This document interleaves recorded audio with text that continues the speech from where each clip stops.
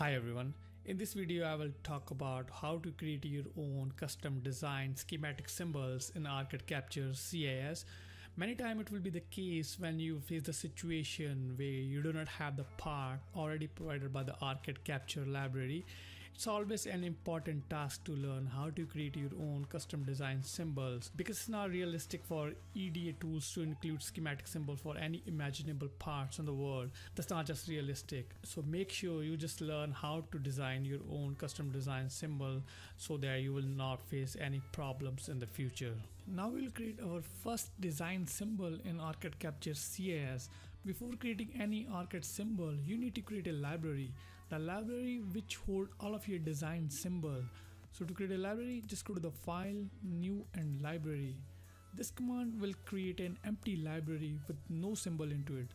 I'm gonna rename this library first. Just right click on the path of this library and just go to the save as. This will open the default library location where all of your predefined libraries are stored. So I'm gonna rename my library as my library and click save. So this will create a mylibrary.olb with no symbol into it. Now I'm gonna add new part into this library. So I will start with a pretty basic IC called 555 timer. Basically the schematic symbol for 555 timer IC is already in the default libraries of OrCAD Capture CIS.